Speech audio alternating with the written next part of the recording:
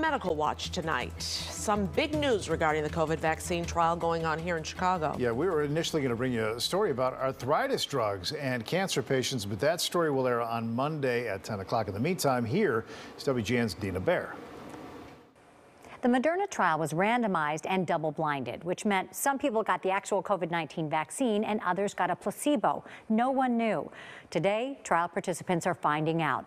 Moderna made the decision to unblind the trial because it was simply unethical to keep people in the dark and not able to get the protection so many want and need. Study participants like Eduardo Rolax were happy to sign up for UIC's Moderna COVID 19 vaccine trial. And today, he's even happier as he awaits the call from study leaders beckoning him back to UIC. And at that visit, they are unblinded. So, uh, and if they received the placebo, they're getting vaccinated at that visit. And he's like, uh, You received a placebo. I'm like, What? No, that can't be. 68 year old Bonnie Blue, the first study participant to roll up her sleeve, always thought she got the real deal. Turns out she got the placebo. But thanks to the unblinding, now she got the vaccine. I was excited.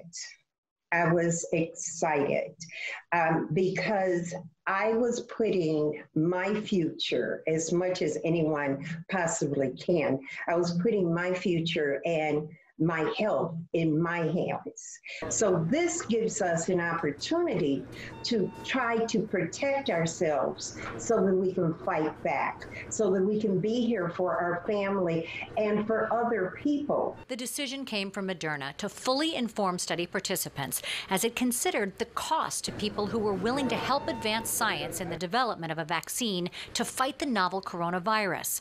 Once the shot was rapidly discovered, the very people who helped make it possible might not be able to get the inoculation that has proven to prevent people from getting sick. It wouldn't be ethical to keep people blinded and on placebo knowing that there are uh, there's a effective vaccine available.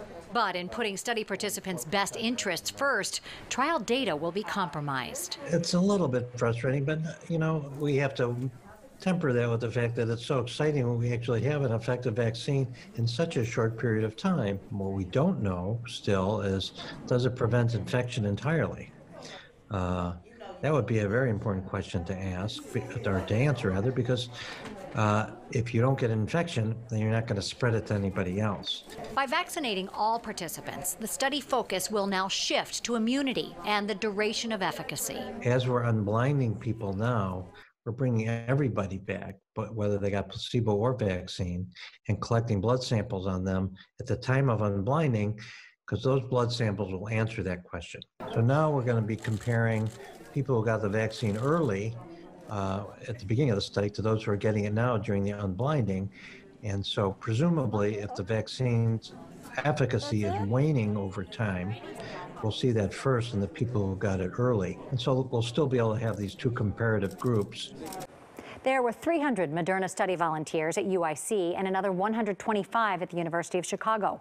By next week, they should all be informed and vaccinated pending vaccine supply. Pfizer is expected to unblind its study participants and vaccinate by March. Back to you.